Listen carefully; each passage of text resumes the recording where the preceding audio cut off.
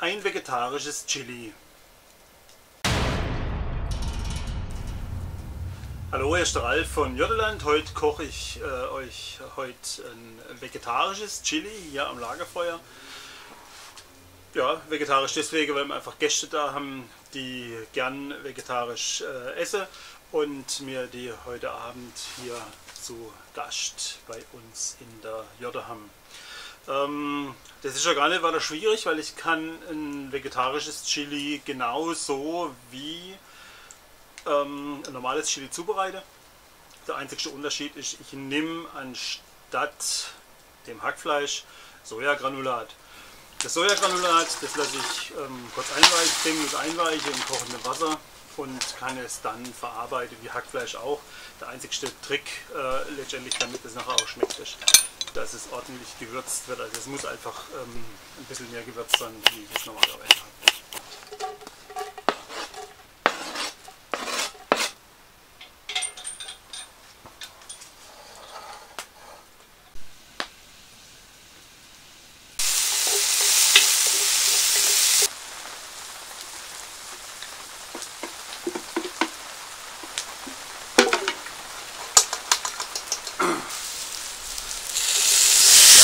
kann ich Anbraten, kann mein Sojagranulat anbraten, kann das würzen.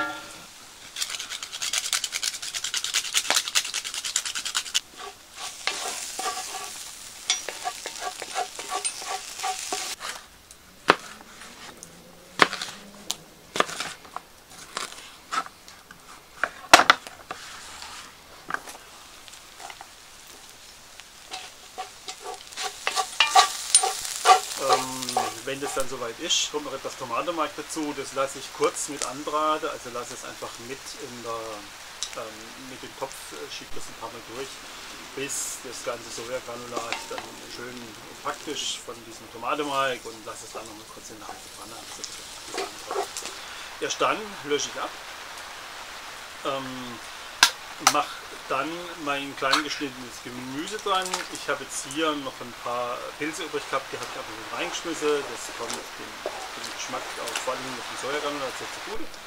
Ähm, und dann einfach äh, Paprika, ein paar Chilischote rein, das noch äh, kurz köcheln lasse in dieser Tomate, Sojagranulat, Pampe. Und wenn das dann soweit äh, durch ist, dann kann ich ähm, Mais und Bohne dran machen. Ich mache zuerst die Bohne dran und eine Weile später dann den Mais, weil die Bohne einfach noch ein bisschen länger braucht. Und das Schöne dran ist dann so mit Chili. Ähm, da kann ich einfach in reichliche Menge kochen. Und ob das jetzt heute gegessen wird oder nicht, das schmeckt morgen aufgewärmt noch viel besser. Und ähm, von daher haben wir jetzt einen riesen Topf und schau mal, wie viel da nachher davon weggeht. Also wenn der ein oder andere Hunger hat, nein, Spaß beiseite, dann haben wir das schon längst gegessen, ähm, bis ihr dieses Video seht. Aber ja, freut euch einfach mit uns, dass es uns äh, gleich sehr gut schmeckt.